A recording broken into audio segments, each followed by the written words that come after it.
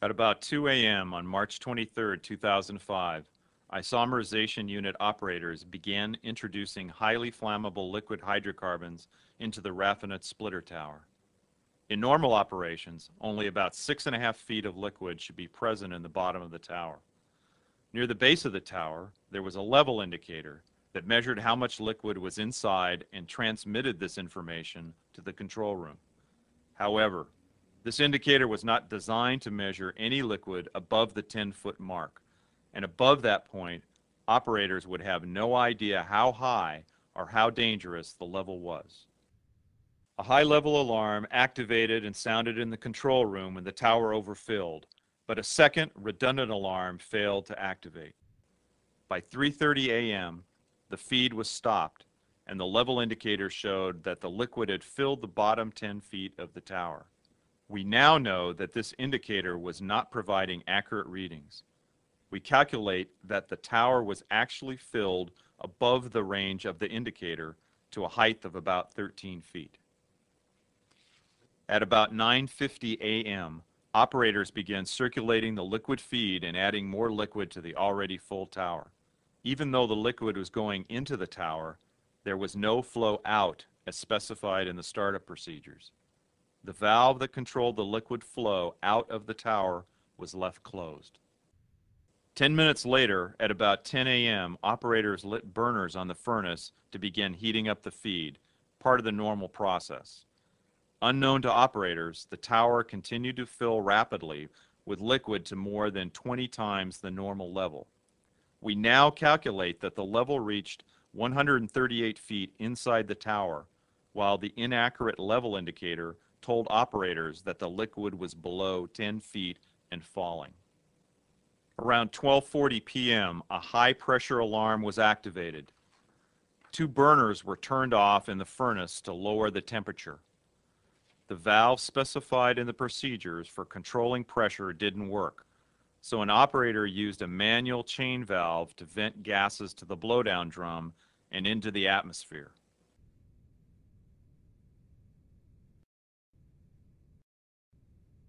At about 1 p.m., operators opened the valve to send liquid from the bottom of the tower to storage tanks.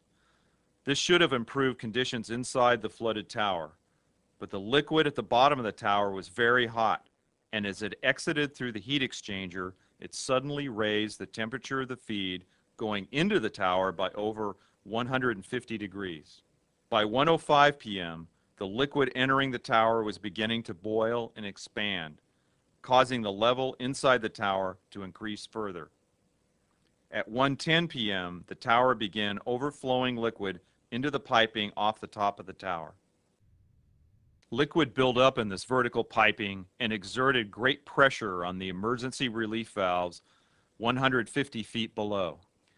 At 1:14 p.m., the three emergency valves opened and liquid began flooding the blowdown drum at the other end of the isomerization unit. Some liquid overflowed from the blowdown drum into a process sewer. But the high level alarm on the blowdown drum didn't go off. The drum filled completely, and bystanders saw a geyser like eruption from the top of the blowdown stack. The eruption lasted about one minute. Liquid fell to the ground, creating a large flammable vapor cloud. This model predicts how far the vapor cloud expanded across the area just one minute after the release began from the stack. At 1:20 p.m., the cloud ignited, causing a series of explosions. The CSB believes the vapor cloud was most likely ignited by a diesel pickup truck parked about 25 feet from the blowdown drum.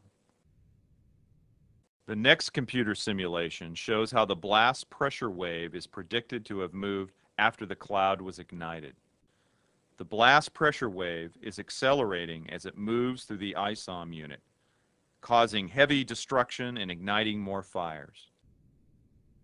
This is the area where two trailers were destroyed, fatally injuring 15 contract workers. This videotape shot by Houston station KHOU, shows the ISOM unit as fires continue to burn after the explosion. You can see the blowdown stack still emitting flames as hydrocarbons are released. Several vehicles were set on fire and burned in the aftermath. Over 50 large chemical storage tanks were damaged. Firefighters struggled to rescue the injured and locate the missing. The Chemical Safety Board's investigation to determine the root causes of the tragedy began the following day.